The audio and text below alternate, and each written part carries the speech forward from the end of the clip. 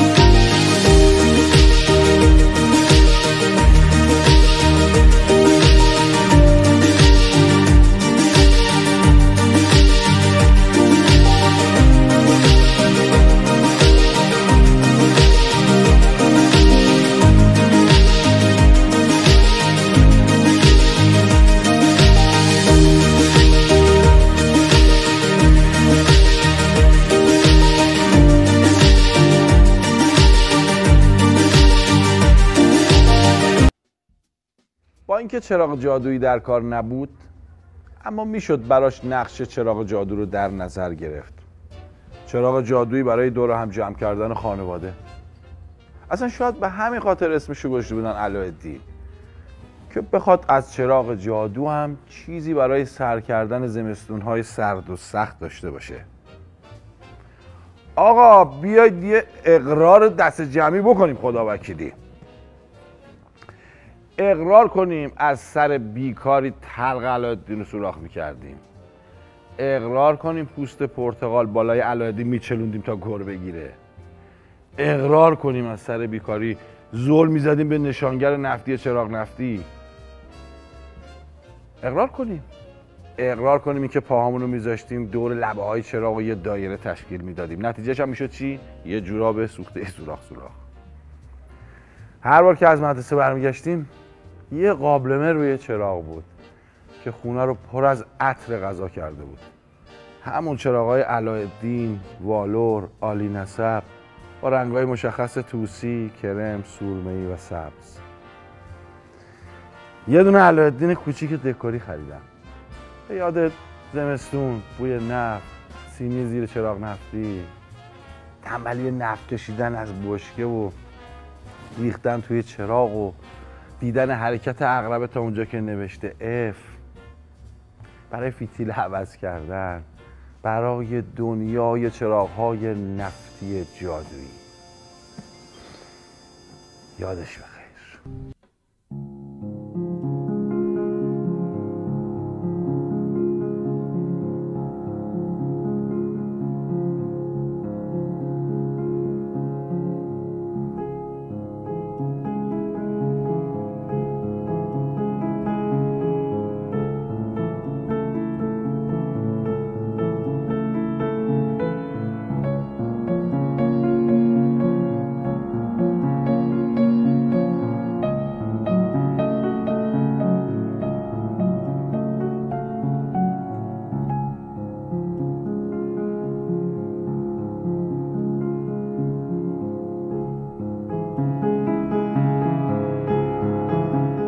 هنرمندی که از کودکی وارد قاب سینما و تلویزیون شد.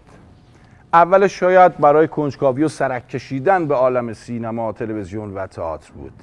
اما درست از وقتی سوار موتور هزار شد. تا در پی نان و عشق باشه تا امروز چهل سال از دیدنش در آثار مختلف میگذره. خانم ها آقایان با افتخار و احترام دعوت می‌کنم از هنرمند خوب کشورمون. دوست عزیزم جناب آقای سپند امیر سلیمانی. عزیزم سلام. اول اکبر اومده. تو مطمئنی؟ آقا سوشه مخلصم. خوبی؟ فرما. خیلی متشکرم. سپند جان. به به به خوش آمدی. آخه. ببخشید من. ماسک رو دیگه همه جا همراه هم دارم. کار خوبی می‌کنی؟ حتی بعد واکسن. خیلی کار خوبی می‌کنی. خیلی مخلصم. سلام علیکم. کدوم بود دوربین؟ اونجاست. سلام علیکم. خیلی خوشحالم که توی این برنامه هستم. چهار تا موضوع رو خیلی سریع اول بگم. بفرما. یکی اینکه خیلی خوشحالم که توی این برنامه هم. خیلی برنامه جذابی ما خیلی خوشحال تریم من اصولا خیلی با گذشته زندگی می‌کنم. برام خیلی جذاب. خاطر بازی می‌شناسم. آره و دومین قضیه این که همین این ممکنه امشب یک بچه دیگه ای از من رو نشون بده چون در مورد غذای قدیمی سری بغض می‌کنم و ممکنه بیننده ها اصولا از من خیلی عادت یعنی عادت نداشته باشن من این مدلی ببینم. این برنامه اشک ها و لبخند هاست. آره. سومیش این که یه خوشحالی دیگه اینه که روبروی تو نشستم. عزیزم. می‌دونی که طرفدارتم. عزیزم. و جدی میگم مخلصتم. تو جزو آدم هایی هستی که من جایی که هستی واقعا حقته چون خیلی زحمت کشیدی. ماها می‌دونیم که. نه اندازه شما. نه واقعا. همین که ما بگیم یه صدا پیشه درجه یک هست که تا نوجوانی نمی‌تونسته صحبت بکنه و. الان جزو درجه یک هست خودش. و همیشه کنارت لذت بردم. چهارمین چیزی هم که می‌خواستم بگم یادم من بگم چهار آها خودت آره. یادت اومد. آره این که موقعی که به چلتیکه دعوت شدم گفتم من؟ چلتیکه بعد یهو دیدم بله دیگه سنه داره می‌رسه به این. من در خدمت حالت خوبه؟ خدا رو شکر دیگه الان بله. رفیق خوبم. دور خیلی سرت بگردم. خیلی اذیت شدی. خیلی زیاد. هم بابت کرونا همون قافلگیری بابت کار به جراحی. کشیدی. سه بار بله.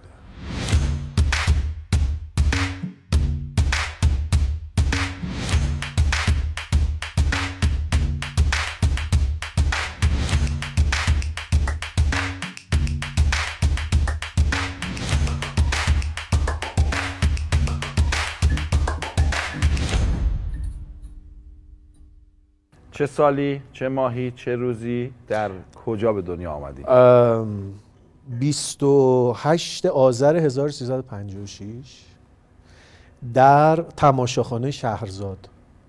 باور می‌کنی؟ چی؟ تماشاخانه شهرزاد الان بری بغل دستش یه در متروکه است نوشته زایشگاه امید. اونجا قبلا زایشگاه امید بود. الان. الان تماشاخانه شهرزاد فقط در زایشگاه بغلش هست. بالاش نوشته زایشگاه امید. تو اونجا به دنیا من آمدی اونجا بدونم اومدم. ساعت 8 و نیم صبح اگر اشتباه خوش اومدی به دنیا. خیلی مخلصم. عزیز دلم. و خیلی زشت. خیلی مثل که زشت بودم موقعی که به دنیا آمدم نمی‌دونم. مثل یه چیز کجکوله اینطوری میگن. ها؟ الان مامانم. منکر میشه ولی موقعی که مثلا من دیدن همه گفتن این چرا اینجوریه؟ خب الان مامانم میگه نه خیلی هم ناز بود. اینا ولی. آره اون موقع به دنیا اومدم و بچه میدون توحیدم. میدون توحید. بله تا آخرای یعنی تا سوم راهنمایی اه، میدون توحید زندگی می‌کردیم و اینم یه سالگیمه. که اونجا می‌بینین؟ گوگلیه. آره. گوگلی. لپاجه ببین. آره اون یه سالگیمه ببین. ای خدا. و بعد یه اتفاقی افتاد که من سوم راهنمایی که تموم شد خواستم برم. چون من کار موسیقی می‌کردم همیشه. می‌دونی؟ آره من که می و خواستم برم ولی هنرستان از و- س- چه سنی رو نمی‌دونم از موقعی که عکس دارم که تنبک از خودم بزرگتره. دب برا دب داری می‌زنی آره. دارم می‌زنم بعد عکس بعدی تنبک بغل دستم اینقدر از من بلندتره تنبک. و بعد که سوم راهنمایی تموم شد خواستم برم هنرستان موسیقی. گفتن که از امسال دیگه از اول راهنمایی می‌تونی نتونستم برم. هنرستان صدا و سیما رشته موسیقی رفتم. یه چند روزی گفتن بهتون خبر میدیم. ده مهر گفتن حد نصاب نرسید تشکیل نمیشه. من رفتم برق خوندم. دیپلمم برق. بی ربط. آره بعد رفتم سربازی. خب سب خیلی تون داری میری. نه این ش... بخش شخصیشه. آه. اینو بگم آره. رفتم. نه نه رفتم سربازی. تصمیم داشتم برم موسیقی بخونم برگردم. آها. یکی از سربازا رفت دفترچه ثبت نام کنکور گرفت و اوورد. منم نمی‌خواستم شرکت کنم. یا گفت ای بچه به جای 6 تا 7 تا گرفتم. و گفتن بیا تو هم پر کن. واقعا؟ منم پر کردم. رشته انتخابای اولمو زدم. 5 تا می‌تونستیم انتخاب کنیم. موسیقی موسیقی موسیقی موسیقی موسیقی. یه تیکی هم داشت که دانشگاه می‌تونه اگه من به یه حد نصابی رسیدم یک رشته ای رو برای من انتخاب بکنه که موسیقی امتحان دادم و بازیگری قبول شد بعد دانشگاه رفتم بازیگری چرا تقدیرت با موسیقی نبود. نبود اصلا نه. چه شغل باحالیش خلبانی.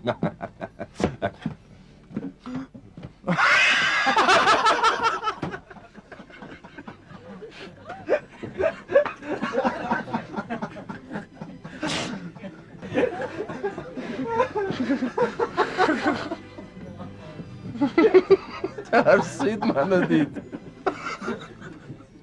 سپند کوچولو چجوری بوده؟ چجور کودکی بودی؟ ما خیلی کمندم گفت تو برنامه تو. ما خیلی تئاتر بازی می‌کردیم با هم. من کمند حالا اون از من بزرگتر بودن. خانم لیلا حاتمی سام مشایخی عزیز. ما خیلی تئاتر و فیلم بازی می‌کردیم و من همیشه کشته می‌شدم. تا این فیلم ها از یه جایی گریه کردم دیگه. زدم زیر گریه. گفتم آقا نمی‌خوام کشته بشم. چون خیلی هم اثر بدی روم داشت. اولین فیلمی که به صورت خیلی دقیق یادم میاد فیلم عقاب ها بود که آخرش آقای جمشید هاشمپور رفتن رومین و اون شخصیت کشته شد. خیلی گفتم آقا آدم به این خوبی دیگه. آخه همه کار کرد رفت اونو نجات داد. چرا و بعد با این ماجرا با اون نقش دویی که کشته می‌شد مشکل داشتم و قسمتم شد دیگه. خیلی شر و شیطون نبودم. با اسباب بازی چطور بودی؟ یه دونه ماسک و شمشیر زورو داشتم همین. خیلی دوستش می اصلا چیزی دیگه نبود.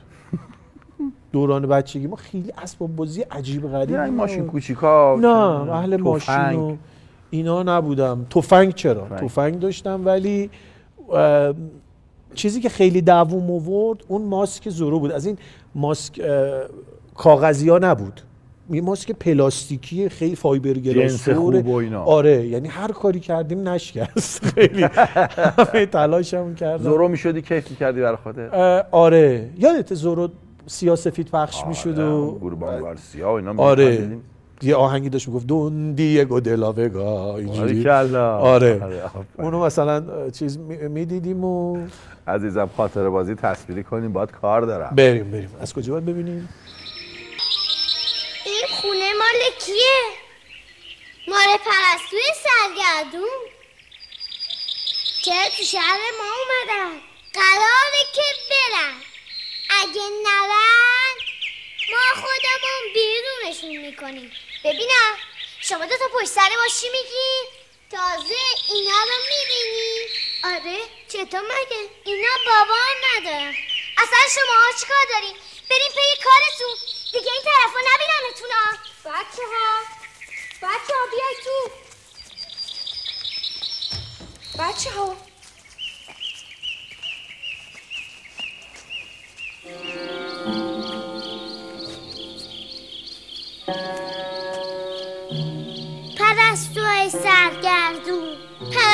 پرستوهای خوب. خیلی مظلوم بودن تو خاک ما مرمان نبودن جوختا حتی نمی‌خوان دروبرشون تو هم پرستوی باشه چه بیرحمن چه خونخواه.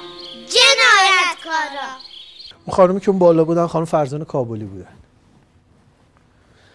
و. اون پدری که راجبش صحبت می‌کردن خدا رحمت کنه. حالا تو این قصه فوت کرده مثلا پرنده مرده جغدا کشتنش و تو فلاش بک ها دیده می‌شد. خدا رحمت کنه های پور حسینی بود. خدا رحمتش کنه. و به نظرم سخت ترین کار بود که شما دیالوگ قراره که برن اگه, بر... اگه نرن ما خودمون بیرونشون می‌کنیم و بدی به بچه که ر رو یه میگه. قیایه که بگن اگه نگن ما خودمون بیرونش. دیدی الان داشتم همجوری یه. می‌گفتی آره. همه را رو یه می‌گفتم دیگه. آره این کارگردانش بابام بود. جالبه بگم که بابای من به هیچ عنوان اصلا موافق نبود که من و کمن بازی کنیم. حالا کمن که قبل از اینم بازی می‌کرد. خب اینجا یه؟ بچه ای می‌خواست مامانم پیشنهاد داد.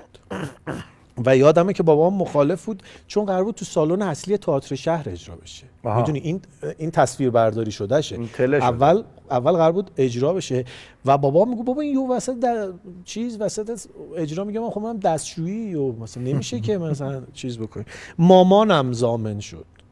و اگه دقت بکنی نمی‌تونستم به دوربین نگاه نکنم. هی اینجوری می‌کردم به دوربین که نگاه کنم آره این شروع ماجرا بود که یه گروه حرفه‌ای و آره این اولیش بود سال 61 سال 61 61 آره. آره جنگ بود. بله بله. جنگ بود و بمبارون و اینا. چیزی هم یادت هست از اون حال هوای آجیر قرمز و بله. من چیز خیلی خوب یادمه. روزی که خرمشهر آزاد شد. با اینکه خیلی کوچیک بودم. چهار سالم بود فکر می‌کنم. این چیز بود یه ش... یه شادی بود. آره. اون سه خرداد سال آره 61. من یادم من خودم از ماشین دستمو بیرون برده بودم. آره. اینجوری آره. خیلی یهو اتفاق آره و اولین چیزی که من از بود. جنگ یادمه این بود و بعد خب بمبارونا و از این چیزا. ما خونم میدون توحید بود. یه یه شبی کوی نصر یا همون گیشا آره آره آره. خیلی نزدیک. خیلی نزدیک بود آره. و ما هر شب مامانم هممون رو توی اتاق میخوابون می‌گفت هر اتفاقی میفته بذار. الان بهش فکر کن. به بچه های نسل جدید که میگیم اینا رو یا همینطوری اتفاقی که میشنون انگار براشون مثلا یه چیز یه قصه خیلی دور محالیه. ببین به بچه های امروز هر چی رو بگیم باور نمی‌کنه این که بگیم آره. ما مثلا اگه یکی رو پیدا نمی‌کردیم و خونه نبود نمی‌تونستیم مثلا تا نره خونه بهش تلفن بزنیم نمی‌تونستیم پیداش کنیم مثلا باور نمی‌کنه باور نمی‌کنم. حتی خیلی تلفن هم نداشتن. مثلا یه به همسایه‌شون زنگ می‌زدن. میشه فلانی رو صدا. بکنی. آره. برای ما ملموس تره برای اونا که اون روزگار بله. رو ندیدن باز یه چیز عجیبیه. مثلا نمی‌دونن انفجار فرو ریختن در و دیوار و سقف و زخمی و جنازه از توی آوار بیرون کشیدن و تاریکی مست کل شهر و حراس جمعی یعنی چی؟ همین همین رول فیلمی که الان اینجا گذاشتیم اینا که. می‌دونی؟ چون به من گفتن عکس گفتم والا عکس های اخیر ما دیگه چاپ شدنی نیست همه تو گوشی هاست. قبلا اینجوری آره بود دیگه. مثلا. چقدرش هم میسوخت. آره. حالمون گرفته می‌شد. آره. بیاد یه سه عکس چاپ بشه اینجوری بودی مثلا تو چشت بسته بود اونجوری مثلا. ببین دیدی همه یه عالم عکس اینجوری داریم؟ آره دقیقا دیگه میگم. اینجوری؟ آره. یا مثلا اینطوریم سفیدی چشمونه. حتی یه جایی هم لحظه یا پلک زدن عکس گرفته شده. که هر کاری کنی اونجوری نمیشه. نه اصلا نمیشه. اکثرا می‌بینیم میگه آره. آره. اینجوری هم بذار ببین من. یه عکس دایم داره واقعا بهت میگم. من اینجوری هم. یعنی اصلا نمیم لبم چرا تو اون شرایط. ببین من یکی از دوستای قدیمیم آتیلا سرو بود یه عکسی اتفاقی شب منزل ما بودن یه عکسی از این گرفتیم داشتیم شوخن میخندیدیم شوخی خنده بازی می‌کردیم فیگورای خنده دار می‌گرفتیم عکس می‌گرفتیم بعد اون عکس رو نگاه می‌کردیم میخندیدیم. یه عکس از این گرفتم من. بعد ببین شاید پنجاه تا عکس دیگه با هم در تاریخ های مختلف گرفتیم که باز بتونه همون شکلک رو دراره. نشد. نش اصلا هیچ کس دیگه ای شده. میگه خودش میگه چه جوری اینجوری شدم؟ بابا ببین لبمو اینجوری کردم چشمو اینجوری کردم اینجوری کردم. چه جوری یه چشمم رفته اینور؟ یه چشمم اومده پایین. آره. هر کار ببین 50 تا میگم عکس گرفتیم حتی نزدیک نمی‌شد بهش بودیم بازم شبیه نشد. ببین واسه همینه که هم نسلای ما یا بزرگتر از ما حتما دیدی اینو. میان باید عکس میندازن میگن آره من دیگه عکس بندازه بعد دوستشون میندازه. میگه یکی دیگه بنداز شاید اینکه سوخت. تو موبایل دیگه چی بسوزه؟ دیگه سوختنی نیست. اعتماد ندارن به اون فریمه که دارن می‌گیرن. آره، آره. میگن یکی دیگه هم بگیر الان. قدیمی ها بیشتر اینطوریه. آره دیگه میگم نسل ما و آره. بزرگتر از ما. آره.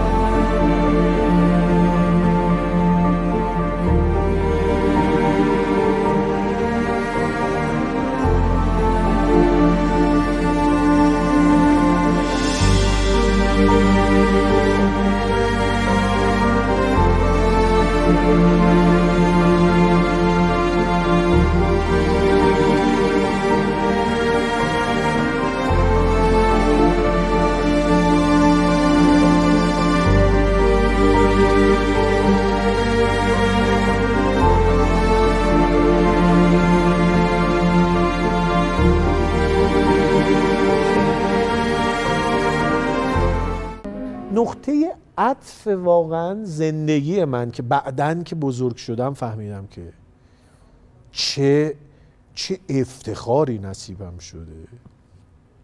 تلتئاتر اقدام به قتل بود و نوه خانم شیخی بودم و همبازی با آقای رشیدی در نه سالگی. وای اون موقع نمی‌فهمی کجایی تو نه سالگی. بعد الان برام سند افتخاره. واقعا. و خانم شیخی خدا رحمتشون کنه. تا موقعی که زنده بودن هر جا منو می‌دیدن می‌گفتن چطوری نوه من؟ آخه. خب و روحشون شاد. خدا رحمت کنه سیروس گرجستانی توش بازی. می‌کرد. که خیلی من روز قبل از فوتشون تو حیات ما با بابای من نشسته بودن داشتن با هم حرف می‌زدن. چون همسایه بودیم. خب چند تا آی گرجستانی میگه بله، خدا بله. و یه خاطره بانمکی تعریف کردن و ما رفتیم و فرداش دیدیم که رفتن بیمارستان و آقای نجفیان بازی می‌کرد توش آقای مرتضی زرابی بازی می‌کرد توش. کارگردانش آقای ابوالحسن داوودی بود. عجب کستی بوده. خیلی عجیب. بازم خوش به حالت. آره. و این و این بامزه است که من هر 15 سال یه بار با آقای داوودی کار کردم. اه، یعنی بعد از اون رسیدیم سال 80 به نانوش خمتور هزار و بعد سال 95 96 رسیدیم به هزار پا. یعنی من هی- دوباره 15 سال. آره. امیدوارم که الان ما نستیم تا 15 سال. دوباره. برام خیلی خاطره عجیب و دوست و جالبه که چند وقت پیش نشون داد تلویزیون. سپن تو از کودکی چون بازی می‌کردی بالاخره یه کار دو کار سه کار تجربه های بیشتر شد دیگه. دستمزد می‌گرفتی؟ قرارداد میبستن با فکر کنم آره. آره. فکر کنم آره. خودت یعنی خب البته بچه که قراردادش نمی‌تونه بنویسه آره من فکر می‌کنم مثلا احتمالاً بابا اینا با احتمالا می‌گرفتن برام یه چیزی میخریدن یا نمی‌دونم واقعا نپرسیدی هم هیچ وقت؟ نه راستشو بخوای. خیلی. راستشو بخوای نپرسیدم آره. خاطره تصویری. چرا یه نفر باید از من کینه نداشته باشه. چرا یه نفر باید از من کینه داشته باشه؟ چی داری به خودتون میگین آقای سوشه؟ من من؟ چیزی به خودم نمیگم. من چی- چی- چی- چیزی نمیگم. با من چیکار داشتین آقای سوشه؟ کار؟ آه، آره آره. می‌خواستم بیای کمکم بکنی با هم با هم این تابلو رو یه جا بزنیم. تو این چکش رو این میخو بردار. خب کجا بزنیم؟ کجا بزنیم؟ این- این- این- اینجا چطوره؟ اینجا. ها؟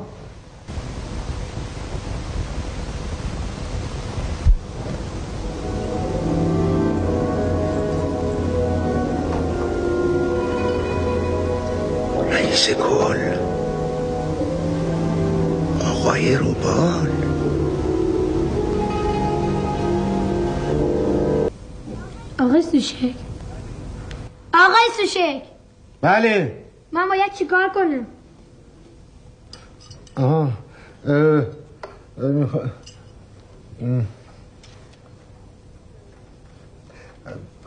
باشه یه روز دیگه این کارا رو می‌کنی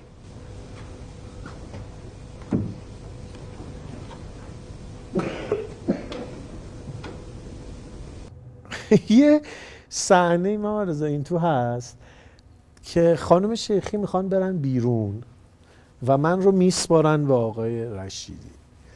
و یه فاصله ای بود که مثلا جایی که تو ایستادی من واسطه بودم اینجا اونجا بیرون در بود اینجا آقای رشیدی و من بعد از اونجا میومدم پیش آقای رشیدی وامیستادم و به طرز اعجاب آوری نمی‌تونستم به دوربین نگاه نکنم. اینجوری می اومدم تو. همجوری. ببین 700 برداشت فکر می‌کنم که. و در نهایت چیزی که به ذهن آقای داوودی رسید این بود که حالا به که به دیده باشن. گفتن دنده عقب بیا. من برمیگشتم اونجا به خانم شیخی می‌گفتم خدافظ دنده عقب میومد نمی‌شد نگاه نکنم به دوربین. دنده عقب اینجوری اومدم تا بالاخره به دوربین نگاه نکن. اینجا یه سوال داشتم. آره. چجوری دیالوگ اینا حفظ می‌کردی؟ می‌گفتن حفظیاتم خوبه. آها. من هنوزم که هنوز حفظیات. خوبه. به غیر از اسم. تو اسم یه چیز فاجعه ای هم مثلا. خیلی. باور کن. مثل منی آره. ببین مثلا تو اسمت محمد رضاست و من بهت میگم که مثلا کامران. وای. خب. ربط. بعد برای بار سیوم به خودم میگم سپند یادت باشه. این کامران و بارها اشتباه بهش گفتی محمد رضا. یادت باشه که کامرانه. با خودم تمرین میام میگم کامران میگی؟ محمد رضا. میای میای آره. درستش کنی هم بازی آره. داری؟ ببین اینجوری بهت بگم که مامانم حالا همیشه بهم میگی که خیلی افتخار میگی همه جا. ما تو دیپلممون نظام قدیم اینطوری بود که 11 تا درس داشتی. جمع این نمرات بعد می‌شد 110 یعنی میانگین این که همه رو ده بگیری. اگه اینطوری می‌شد تو می‌تونستی یه دونه زیر هفت داشته باشی. آره بهش گفتن تگ ماده. بله. من ریاضیم 4 و 25 صد. ولی تاریخو شده بودم 20 می‌دونی؟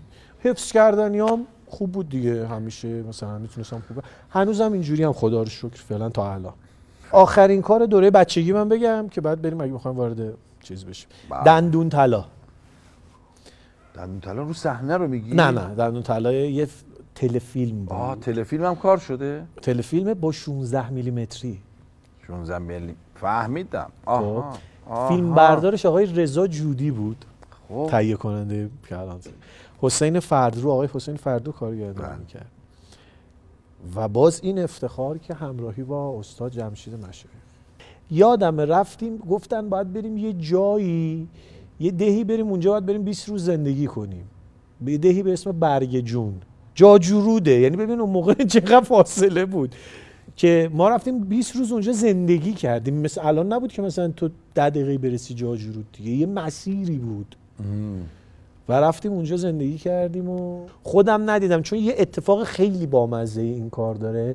از اون سن دیگه دماغ من شروع کرد نقش به سزایی در صورتم بازی کرد. یعنی شروع کرد خودشو نشون دادن از اونجا. و تا یه جای دیگه انقدر خودش نشون داد من دیده نمی شدم اینجوری بودم. یه دماغی بودم که پشتش یه مقداری سپند نهفته بود. پس دوست داری ببینی؟ آره آره. ببینم، آره. واقعا؟ آره آره. دوست- واقعا دوست خب، دارم ببینم به برا خاطر دماغم هم که این شده. برا ما خوشحال کننده آره. هم بود. اومده اومده. چه خبرته؟ آخه دندون دندون در آورده قابش هم نشتاختش چقدر دور از خودت معلوم نیست تویی. آره. ببین این قصهش این بود که این دهه مثلا یه آبی داشت که همه دندوناشون میریخت. آه. همه بدون دندون بودن. بعد خدا رحمت کنه آقای مشایخی رفته بود شهر یه دست دندون آریایی خریده بود. خب اصلا سر همین دندون طلا. بعد جنگ می‌شد سر این ماجرا و خیلی برام جالب بود یه بازی متفاوتی آقای مشایخی این تو داشت. بله بله, بله. بود. خیلی متفاوت از همیشه. خب بریم سراغ عکس که خیلی زیاده همین تعدادی که آره بعضیش ممکنه یه ذره دلگیر. کنن ناراحت آره. کننده بشه ولی من دوست داشتم. هر حال که- عزیزم روزگار ماست بله. خاطرات ماست. مثل همین اولی بله. آخرین عکس من با مرداد آخرینشه؟ آخرین عکس با مرداد آخرین روزهایی که می‌شد استادیوم رفت. بعدش دیگه رسیدیم به کرونا و بارون زیادی می اومد بازی پرسپولیس و تراکتور. اون بغلیمون هم دوست مشترکمون بود امیر حسین. و این آخرین عکسیه که آخرین تماس هم نه آخرین عکسیه که با روحت. شاد. مهداد مینوند عزیز. روحت شاد. این منم. در فیلم بابا، این کلاهگیس خانوم کمند نه نه این منم با آقای لولایی کار می‌کردیم. دو تا عکس بعدی رو با هم نشون بده به نظر. تا عکس بعدی رو با هم نشون با. هم نشون. باشه. یعنی قشنگ چیدی آخه. نه نه. این این این اون پشتیش. بعد اون. آره. یعنی این دو این دوتا رو با هم نشون. این و این. آره. اولین و آخرین عکس من با علی. اولین و آخرین؟ اولی سال 82 این. آره. توی خونه ماست تولد منه. 82 82 آره. و آخری هم مال خندوانه است. ای وای. آره. ای وای. زنده این بچه بله بله. همین که الان اینجا پیشمان چقدر فقط با خندیدناش ما رو به خندید آره واقعا. از خنده شارژ می‌شدی میخندی اینم همون سال با پژمان جمشیدیه. همون سال 83 همون شب با پژمان جمشیدیه. و چقدر خوشحالم از این که پژمان چند وقت پیش تولدش بود. بهش گفتم همین جایی که هستی هم حتی برات کمه. یه عکس دیگه مونده فکر کنم. بله، اونم دلیلش رو. جمعش نکردم. آره دلیلش بگم. یه عکسه یا آخ. نه دو تا عکس. مونده. ایداد عزیزم عزیزم. اینو هیچی نگم. چرا؟ نگی؟ نمیتون بتون خواهش می‌کنم.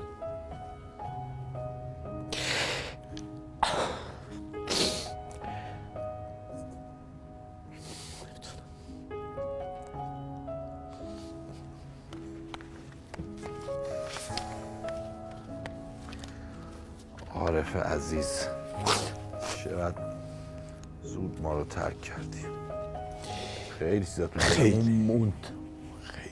موقعی که عارف رفت فکر می‌کردیم مردن یه آدم 44 ساله خیلی چیز عجیبیه. ولی آه، یه موقعی نمی‌دونی با یکی چقدر دوستی و عارف اینجوری. قشنگ گفتی. آره. بزرگترین راز برام تو زندگی و بزرگترین رویایی که تو زندگی من هست و بهش فکر می‌کنم مرگه. فکر می‌کنم چه اتفاقی میفته چیه ماجرا اون طرف؟ خیلی راز بزرگی برام. رویاگونه هستی.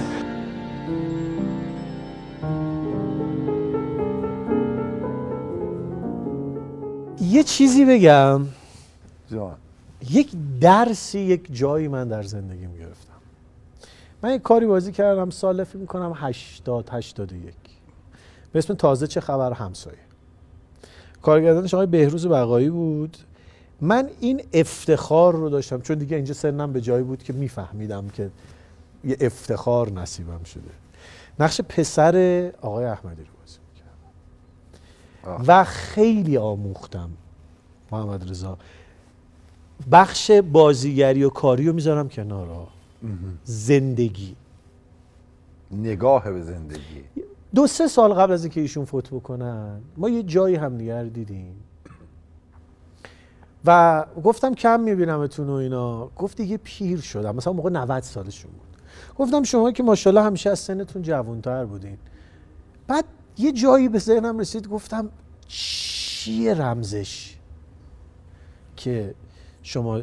ببین تو هر وقت این سوال می‌پرسی میگن من فلان چیزو نخوردم ورزش کردم نمی‌دونم روغن. نخوردم سیگار نکشیدم. آقای احمدی گفت من حسود نبودم. گفت حسودی آدم رو سیاه می‌کنه آدم رو پیر می‌کنه. خیلی درس بزرگ. خیلی. من دو تا چیز هیچ وقت از ذهنم نمیره بیرون. یکی این حرف. یکی هم یه شب ناراحت بودم. آقای مشایخی بهم گفت عمو چرا ناراحتی؟ گفتم حالم خوب نیست. دلم خوب نیست. گفت حضرت حافظ میگه چرخ بر هم زنم ار غیر مرادم گردد. من نه آنم که زبونی که شود چرخ فلک. این دو تا حرف هیچ وقت تو زندگی از یاد من نمیره و یه چیز دیگه که خیلی شخصیه. اینو بگم برای کسایی که شاید یه مقدار راجع به ماها یه فکرهای دیگه ای می‌کنن. من خیلی از زندگی محمد رضا راضیم با همه سختیاش من یادمه یه روزی می‌گفتم خدایا میشه انقدر پول داشته باشم که یه لپتاپ دست دوم بخرم؟ اینو یادمه. خیلی خدا به مال داده. من الان یه لپتاپ دارم که اصلا شاید حتی دیگه نگاهش هم نمی‌کنم یعنی امروز که برای شما می‌خواستم عکس بیارم شاید بعد مثلا یکی دو سال درشو باز کرد ببین نگاه به دور برم می‌کنم. انقدر خدا به هم لطف کرده. انقدر فراتر از آرزوهام بهم داده که اصلا نمیشه راضی نباشم. نمیشه شکرش نکنم. دمش گرم واقعا. یعنی یه حرکتی آقای شکیبایی داشت جایزه می‌گرفت یه اینجوری می‌کرد یادته نمی، نمی‌تونم نمی‌تونم شاکر نباشم. من امروز توی یک- یکی از پر بیننده ترین برنامه های تلویزیون نشستم. و می‌دونی این یعنی خدا من چجوری دیده؟ در آغوش خداوندی. دمش کرد و همیشه بمونی.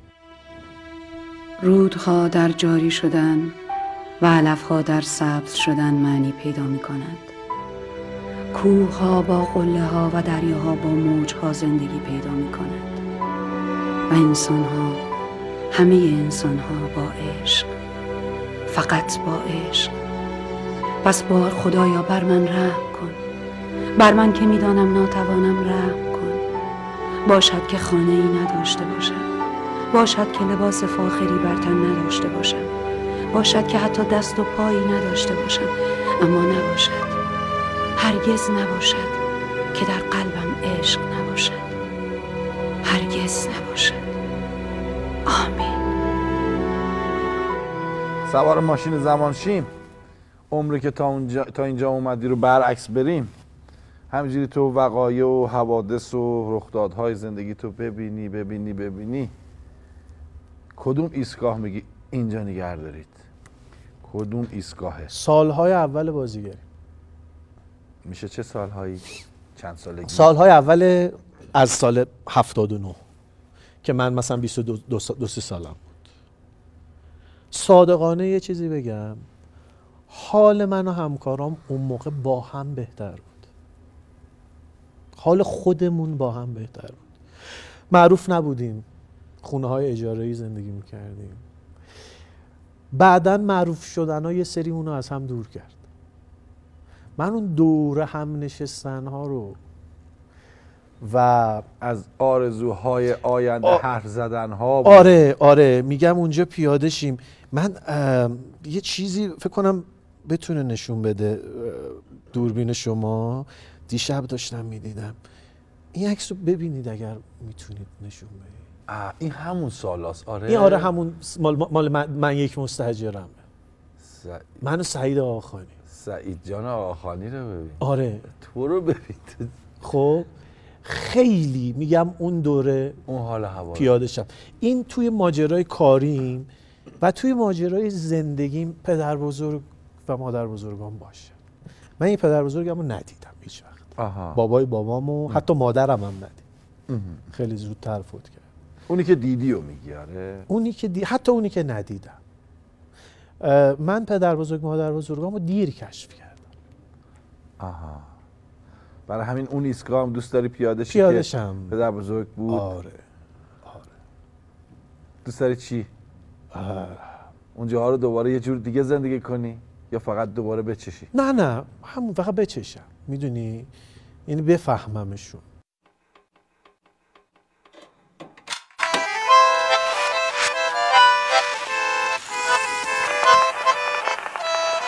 خیلی جا آدم می‌خواد از اون ترانه پیاده شه. بگو. من یه شب خوندم. آقای نوری خدا رحمتش کنه.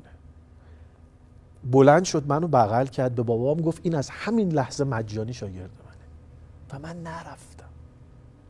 اه. حماقت بزرگی است به نظرم. نرفتم. هی گفتم حالا میرم حالا میرم حالا میرم. ببین الان یه کاری کن. نمی‌خونم ها. می‌خونی. یه تیکه می‌خونی. بذار بگم با چه نیتی. هم ما رو خوشحال کن. هم بیننده های ما رو.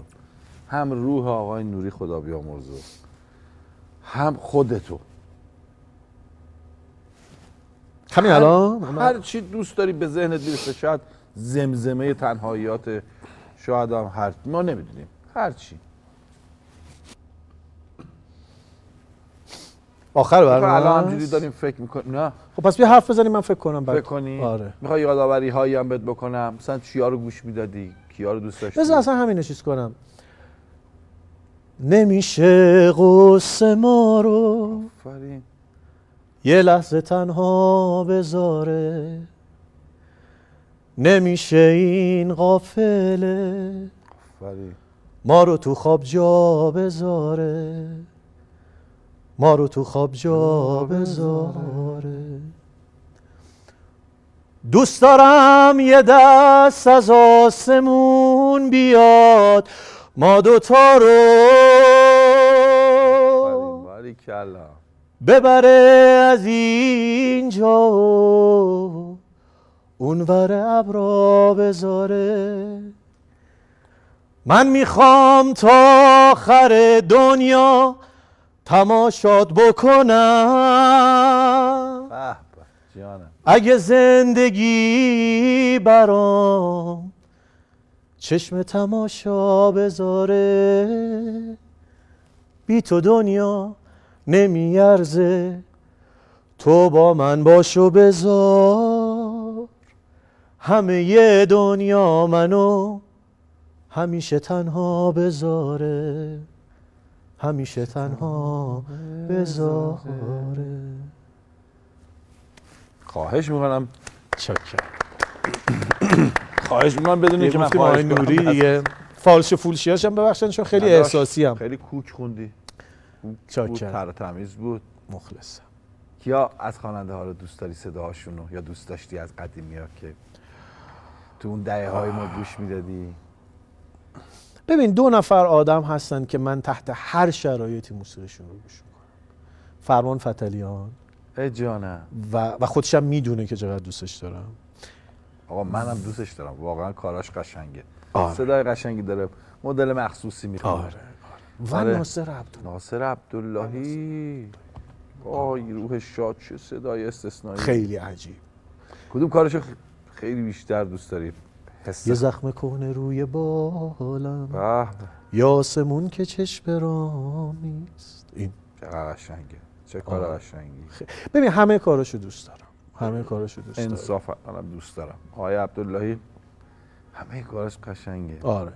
روح ناصر عبداللهی شاد حسابی لذت بردیم. روح خیلی از ب- داشتم فکر می‌کردم چقدر خوب آدم یه طوری زندگی بکنه که سالها بعد از رفتنش هم. هنوز آدما بگن خدا بیامرزدش آره و گوش. بدن ببیننش لذت ببرن. بریم به خونتون. خونمون؟ آره. تو گفتگو. آها بریم. اه، بی تردید حضور پدر هنرمند شما که از به هر حال هنرمندهای با ارزش ما ایرانی هاست. در روند هنری شما بی تاثیر نبوده و در زندگیتون همینطور. هم شما اشاره داشتی هم همشیرت. ولی از مادر نگفتید قبلش من توضیح بدم چون دوبارم این اتفاق تو این برنامه افتاد. ما امیر سلیمانی ها با یه پخ بغزمون میترک. میترک. بابام که به پخم احتیاج نداره. کلا اصلا چیز به همون خاطر من خیلی سریع احساسی میشم. بابا واقعا ببین یه منبع انرژی و شادیه. بله. شبی که مهمان ما بودن ما به جای اینکه مثلا بعد اون همه ساعت ضبط خب قبلش هم ضبط بودیم و اینا خسته بشیم خستگیمون در رفت شاداب خدا رو شکر. خدا نگرش داره برای هممون. متشکرم. بیا خیلی راجع به مادرم حرف نزنیم چون به جز فرشته من هیچ چیزی نمی‌تونم چی بگم؟ ببین من ببین. فقط مطرحش کردم. ببین باور می‌کنی که هنوز نگرانه که من ناهارم رو به موقع می‌خورم. هنوز نگرانه که من چی کار دارم می‌کنم. نگرانه ها دخالت این این دوتا خیلی با هم فرق می‌کنه ها. می‌دونی چی میگم؟ هنوز نگران کمنده. هنوز ببین مادر من اگر غذا ما یه دفعه بالای خونمون بنایی بود. مادرم غذا درست کرد و بوی غذا رفت بالا. به همه کارگرها غذا داد. گفت بوی غذا به اینا خورده و اینا نمی‌تونن. اگه دلشون بخواد این غذا گلومم اگه اونا این غذا رو دلشون بخواد و نتونن بخورن این غذا گلومم پایین نمیره. ببین یه یه جور عجیبی مهربونه. یعنی این واقعا یه چیزیه که همه دوروبری های ما میگن. و واقعا میگم که تحمل سه تا آدم بی برنامه چون کار ما اصلا کار بی برنامه دیگه. خیلی سخته و دمش گرم. یعنی واقعا میگم درجه یک هر چی هم بگیم باز تهش باید بگیم و تو چه میدانی مادر کیست؟ بله. یا اصلا چیست؟ بله. از این دوربینه استفاده کن یه چیزی بهش بگو. بذار اینو به به جفتشون بگم. به نظرم. نمی‌دونم. اینم جزو همون ماجرای نگاه ویژه خدا به منه که ما از اومده بودیم بخندیم اینجا. یه سر خاطر سازی کنیم. بیا بخندیم. خندیدی اینم جزو نگاه های ویژه من. هر جای جهان و با هر کس دیگه به دنیا می اومدم قطعا قطعا حالی که الان داشتم و نداشتم و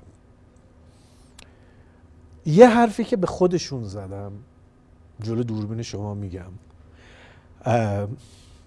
پنج سال پیش به بابام گفتم گفتم پنج سال بیشتر هفت هشت سال قبل گفتم دیگه بشین این نوکریتون رو بکنم و هنوزم همین. تا حالا سر فیلم برداری حادثه خطرناک عجیب غریب خاص اینا برات پیش اومده؟ سر من یک مستجرم بالای دیوار پرت شدم. چقدر ارتفاع؟ سه متر مثلا. اوه. پام ضرب دید. نشکست؟ نه آتل بستن خدا رحم کرد و دوباره سر همون سریال گاز گرفت منو. دم بخاری نشسته بودم سرد بود. دچار گاز گرفتگی شدم مثل که یو از حال رفتم. نه بابا. آره. کی متوجه شد؟ چجوری؟ اب- افتادم دیگه یو. بودن اونجا؟ آره آره دور هم نشسته بودیم. منتها من نزدیک بخاری بودم. افتادم. خیلی مثل که دیوکسید. آره و اون کار یه چیزی. دیگه هم داشت.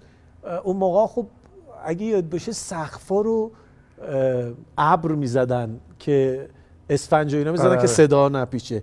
یه بار این پروژکتور گرفت سوخت و بارون آتیش میومد بارون آتیش. آه از اون ابرا. آره ابرا اینجوری تیکه تیکه آتیشی آتیشی میافتاد پایین. ولی اتفاق زیاد برام من مثلا سر اخراجی های انفجار بغلمون زدن سال 87 من از اون موقع یه فرکانسی رو گوشم نمیشنوه که سوت می‌زنه دیگه. الان تقریبا 13 ساله که گوشم سوت می‌زنه. نه. آره. و خوبم نمیشه. هست. همش هست. هست. هم میشه. یکی. یه زنگی داره می‌زنه. خیلی هم تنزویا میگن خب جواب بده تو دیگه. زنگ می‌زنه جواب بده. در هر صورت هست. آره. نگاهت به مرگ چجوریه؟ ببین من خیلی همیشه فکر کردم بهش. خب. هر چی سنم میره بالاتر برام راحت تر میشه. در 20 سالگی میترسیدم ازش. الان نمیترسم. می‌دونی؟ شاید هم از دست دادن آدم هایی مثل عارف مثل خشایار مثل مهرداد مثل علی این چیز رو ایجاد ترس رو کرد. کم رنگ کرد برا آره نه ولی الان احساس می‌کنم که مثل اینجا که میگی ورق بزنیم خاطره رو بریم یه جای دیگه. اون اونم به نظرم یه ورقه. آره. آره. اینجا کلا یه اینجوریه. یه ورق. کل این دنیا. به نظرم حتی کمتر ورق. از ورق زدن. بریم یه در واقع خاطره تصویری باز ببینیم. بله. یه داستان که خیلی شبیه فیلم هاست. گرچه همیشه یه عده بیکار هستن که معتقدن این قصه سرتاپاش چاخانه اما شما باور کنید که اون چه می‌بینید و میشنوید عین حقیقته. چرا؟ چرا شو؟ بعدم می‌فهمید. بابا تو هند چاسگولی چرا تو کلی دارم ماتحال می‌کنم؟ بچه تو چقدر خوشخنده ای ماشینت چشه. چه می‌دونم ما با این لگن هر روز یه بازی در میاره. امروز هم روشن نمیشه. شوهرمون داده اساسی. یه استارت زمینم بدو آها درست شد دیگه. آفرین استاد. باری کلا. بجو. بابا دمت کرد چش بود سر کوهلش جدا شده بود. به جان تو گفتم یه 20 تومانی افتادم تو خرج ها. دمت قیش بابا دمت قیش شاکریم برو به سلامت. قربانه. اما بیا. حالا که تو یه کاری واسم کردی منم می‌خوام یه نصیحتی بهت بگم. بفرما. ببین اصولا دخترها از پسرایی که زیاد تحویلشون بگیرن خوششون نمیاد. هرچی بیشتر موس موس بکنی بیشتر واسه ادا در میاد. حالا برعکس اصلا برو تو تیریف کم محلی. تحویلشون نگیر حالشون رو بگیر بزن تو سرشون. اون وقت می‌دونی سه سوت عاشقت میشه. جدی؟ جان تو. همین باران خودمون. یه دو دفعه بهش کم محلی کن دو دفعه بزن تو سرش خودش در به درت میشه. بعدش نیاد. نه بابا اون کیفم می‌کنه. من دختر خالمو می‌شناسم. این کارهایی که بهت گفتم بکن. میاد میفته به پات. و اما چی شد که من بازی بازیگر شدم؟ آها. یعنی چون استارت به صورت حرفه ایش بالاخره این حالا اون بچگی ها که بوده. جد تو بچگی ما واقعا اون دوران بازیگره خیلی درجه یکی داشتیم. مثلا علیرضا رئیسی مدرسه پیرمردا و اینا بله. بابک بادکوبه و سعید شیخزاده بازیگر درجه یکی بود. همشون مهمونمون بودن. مهدی اسدی رو نمی‌دونم یاد میاد یا نه. تو فیلم گال و شیرک بازی کرد.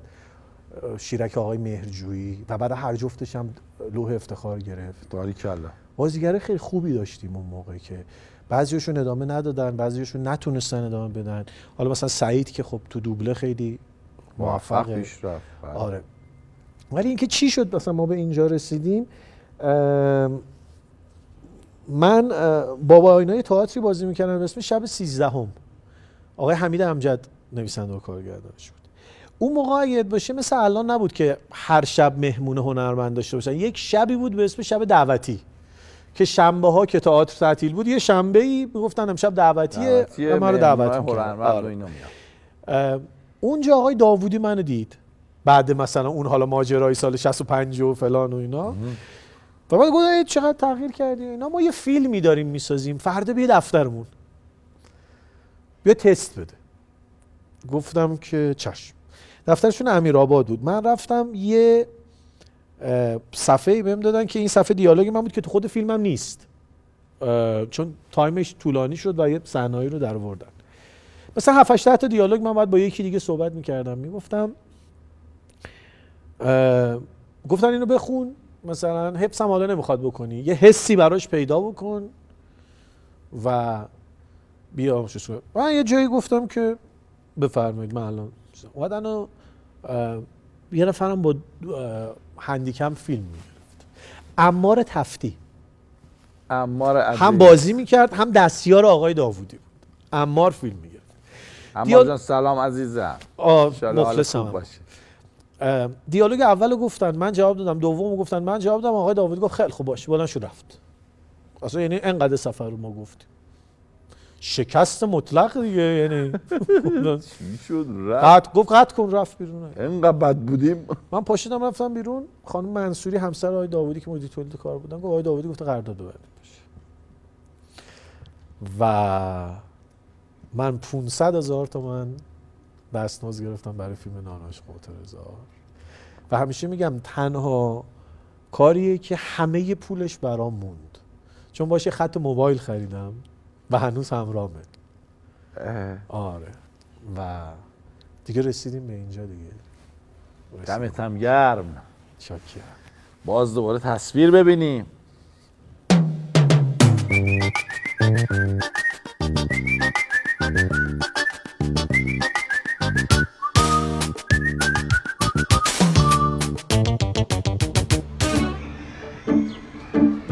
این پسر اصلا به کل دیوانه است. دیوانه ماییم که می‌خوایم براش دم بگیریم. اگه بدونی چابری اونجا ازمون برد حالا تو کجا میری؟ هیچی تو خونه نداریم برم ایست بگیرم بیا. سویچ ماشینم بده. و این سویچو دیشب از مسعود نگرفتی؟ ای وای نه یادم رفت. الان میرم ازش می‌گیرم. خدافز خدافظ آقای حلال زاده سلام. سلام. سلام. این کت شلوار دست درد نکنه. خواهش می‌کنم. این بوی چی میده؟ بوی سگ میده. مگه اینو کی پوشیده؟ من. آخه سگ سوری خانم آستینشو گاز گرفت. اینو ببر خوشویی بعدم بگیر برام بیار. بده خودم سر را می‌برم. نه بابا شما زحمت نکشید. من خودم می‌برم. دست شما درد نکنه. نمی‌خواد. دارم میرم خرید سر را مینم میدم خوشرویی خرید چی اوا یعنی چی؟ میشه خواهش کنم هر خریدی که دارید بدید من برم براتون انجام بدم. هر چی که داشته باشی من بخرم حسام جان من نوکرتم بذار من برم بخرم. خواهش می‌کنم. فقط لیست کنید شما. من خودم براتون می‌خرم. خواهش می‌کنم. چیه؟ دچار از وجدان شدی؟ نه بابا عذاب وجدان چیه انگار می‌خوام؟ من عاشق شدم عاشق. عاشق کی؟ نمی‌دونم کیه. ولی همونیه که من می‌خوام. کجا؟ تو بقالی. بقالی هم جای عاشق شدنه. نگاه خانم باید ببینیدش. من از وقتی دیدمش رو اصلا پاک روانی شدم قاطی کردم معلوم نیست. اصلا قلبم از جا کنده میشه تا پا توپ می‌زنه بیرون. همونیه که من یه عمر خوابش رو می‌دیدم. مبارکه. اصلا میایید با هم دیگه بریم ببینیمش. خواهش می‌کنم بریم ببینیمش. خب حالا از کجا معلوم وقتی من برم اونجا اونم واسه خرید اومده باشه؟ خرید چیه هنگام خانم؟ اون خودش فروشنده است. اصول جون ولمون کن سر کارمون نذار من الان خودم باید برم سر کار. پس من به کی بگم به من بدبخت سر و سامون بده؟ من بدبختیامو به کی بگم؟ من کسی رو ندارم به غیر از شما. بابا بیایم بریم دیگه. بابا من عاشق شدم. به کی بگم حرف؟ بریم، بریم، بریم. بیا بریم بفرمایید. بریم. خود امیرم هم می‌خواد شلوغ می‌کنه دیدی دیگه؟ ببین این این کارم بازی کردنش یه چیز با مزه داشت. تهیه کنندش آقای مهام آقای محمدی بودن. با من قرارداد بستن بعد بهم زنگ زنگ گفتن ببخشید نشد. برای اینکه ما نقشی که با شما قرارداد بستیم نقش خانم همسرتون خانم خانم ریما رامینفر بازی کنه و نمی‌خوره که شما شاهد بشید اون نقش رو سعید بازی می‌کنه. بعد سعید آقا خانی. خانی. بعد چند روز بعد زنگ زدن حالا با قراردادم بسته بودیم. گفتن نه بیا. یه نقشی هست که بیا بر اون رفتم و دوباره گفتن که نه اون نقش رو خانم چرخنده بازی می‌کنه دیگه نمی‌خوره. و رفتن شروع کردن فیلم برداری. و بعد تو دل فیلم برداری به من زدن یعنی من همه نقشه من مستجرم قرار بود بازی کنم. خب؟ که تش رسید به این. که خب این جزو کارهایی بود که خیلی برای من خیلی خوب بود. هم از لحاظ موقعیت کاری. و بعد آشنا شدم با آقای محمدی آقای مهام که این دوستی من با آقای مهام تا همین بوتیمار امسال مونده که خب اوجش فکر می‌کنم بعد از این شد سریال نرگس. سریال نرگس رو کار کردیم که دیگه خیلی عجیب غریب بود و فکر می‌کنم که در این سالهای اخیر من یه مقدار اون اتفاقاتی که در سالهای اول برام میافتاد دیگه خیلی کمتر شده.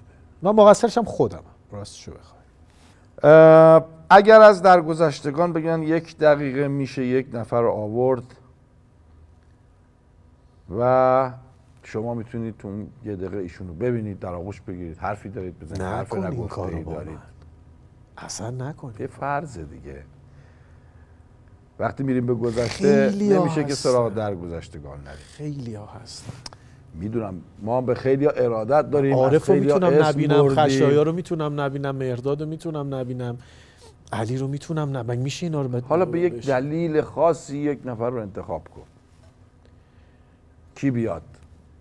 و اگه بیاد تو اون یه دقیقه چی بهش چون؟ برنامهمون بذار از بود خانوادگی بیارمش بیرون. یعنی اونا که تو خانواده بودن رو نگم. میل خودت. و چون راجبشون زیاد صحبت کردیم و با یه خاطره تموم کنم من اینجا یه سوختگی دارم. می‌بینی؟ جای سوختگیه. رو دست. خب. در یک سیزده به دری آقای مشایخی در سه سالگی منو مینداختن بالا و دست من میره می‌خوره به این چراغ زنبوری هایی که توی دیرو دیوار بود وقتی برق می‌رفت روشن می‌کردم و اون موقع برق نبود اون روشن بود و دست من میره می‌خوره به اون. این سوختگی مال اونه. و فکر می‌کنم که اه، بچه که بودم دستمو می‌گرفتن تکون می‌دادن می‌گفتن یار دم موش یار دم موش واکس می‌زنه. دارا را را را رام دارا دارام پام دارا دارام اینجوری دست من تکون میدن اون صحنه رو دلم می‌خواد تکرار شه این بازیه. آقای مشایخی بیاد پس دوست داری هم ایشون بیاد هم تو هم برگردی به اون سالهای کودکی. آره. دوباره اون بازیه. آره آره. میگم من خیلی مال اون موقع ها. یادی کنیم از هنرمند بزرگ خیلی هم.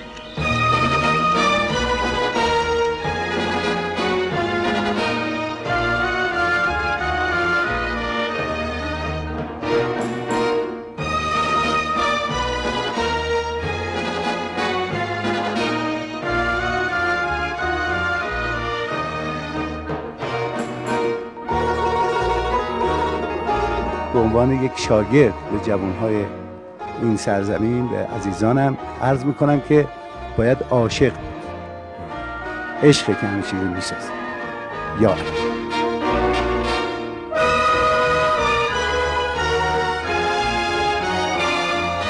صحبت به درازا کشید. بچه ها خواستن که تمومش کنن. انشاءالله به خیر میگذره. وقتشه که همتی بکنی طرح منو تصویب بفرمایید. به سرعت راش میندازم. فردا بیایید حاصل کار را ببینید. شکارگاه ما من بعد کتابخانه ما خواهد شد.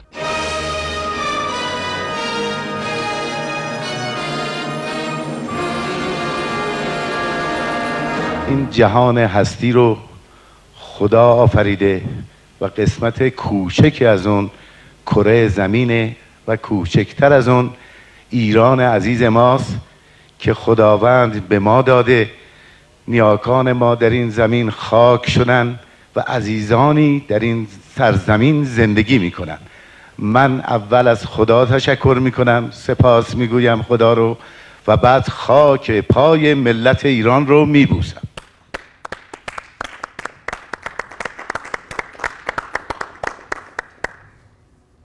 برنامه رو به کی تقدیم می‌کنی پس؟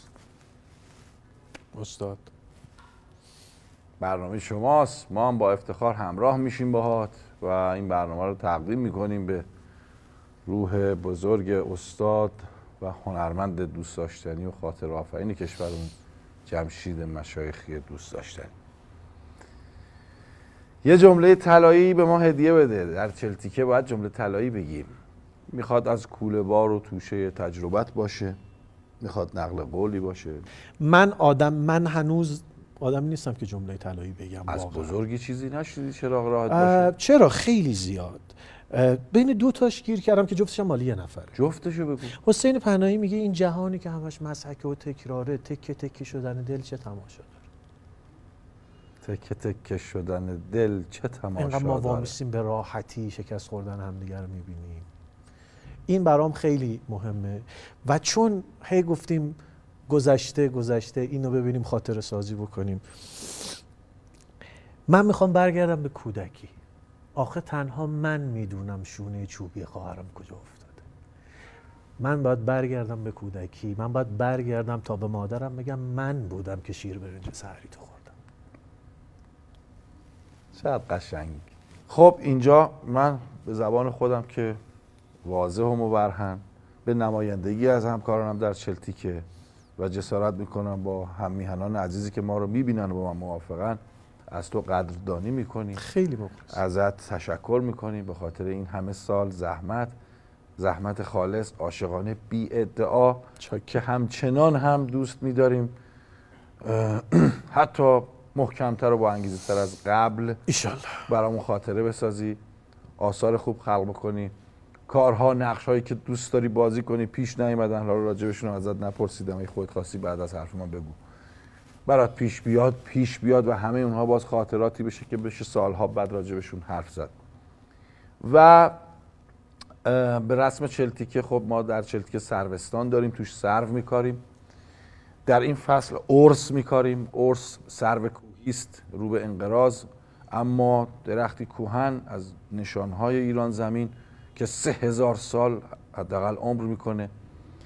گفتیم مزینش کنیم به نام عزیزانی که روی این صندلی می نشینند یاد و خاطره که در ذهن و قلب ما خواهد ماند.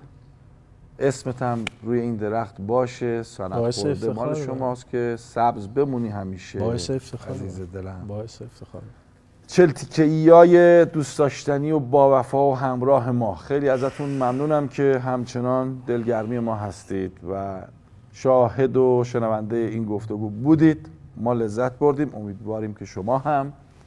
و همچنان دستتون رو از پشت ما بر ندارید و در کنار ما بمونید. حق پناهتون باشه. خدا نگهدارتون. یا حق. خداحافظ. مرسی.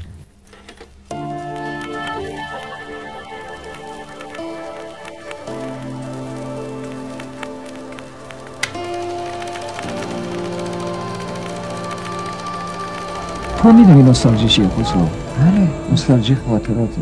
گذشته یاد. گذشتن از گذشته کار من نیست که من با خاطراتم زنده هستم. هنوز از عطر و بوی کاه گلمه است کنار حوز و ماهی ها نشستم.